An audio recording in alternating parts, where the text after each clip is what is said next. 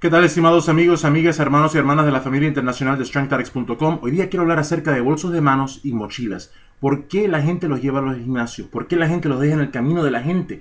¿Por qué la gente anda con los tiestos de proteína y los tiestos de aminoácidos los saca para que todo el mundo los vea y les echa? y los... No lo entiendo. Creo que simplemente es una manera de como aparecerse lujoso o decirle al mundo entero, mira, yo uso esta marca, yo uso este polvo, mira que yo soy, estoy mezclando mi proteína, mira que, que fantástico yo soy, que esto y lo otro.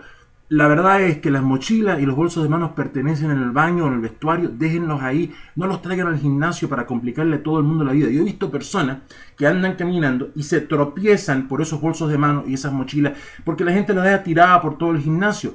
El gimnasio es para levantar pesas, no es un vestuario para aquellos que quieran que todo el mundo sepa que pomo de proteína usan aminoácido, creatina, porque lo saquen, en, vaya en vista de todo el mundo y le echen, le, este, dejen esas cosas en el vestuario, en el automóvil o en su casa. Al menos esa es mi sugerencia para ustedes.